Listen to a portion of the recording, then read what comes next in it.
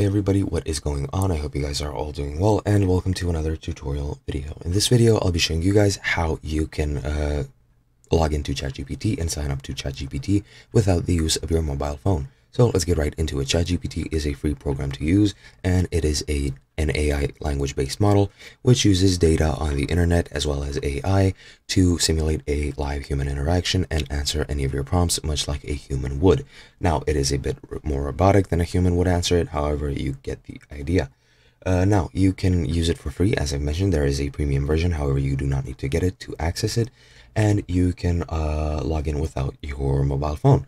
Now, one way which I constantly use is logging in via Google, and it is pretty much the same for whichever button of these you press. You can sign up, enter the data. I don't know if you need to enter your phone number. I think you might if you're opening up a OpenAI account. However, if you're just using Google, you can just bypass it and not use your phone number.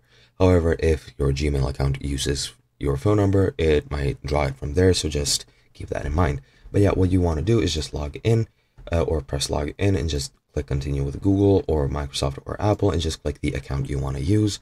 And once you do, it'll just log you in to the service. And as you can see, this is ChatGPT 3.5, which is the free version. ChatGPT 4 is the upgraded version, which is much, much better. However, it does cost to use. But yeah, here you can use pretty much any of uh, your prompts or any uh, thing you want to use it for. And yeah, that's pretty much it. That's how you log in without the use of your phone number, and I'll be seeing you guys next time.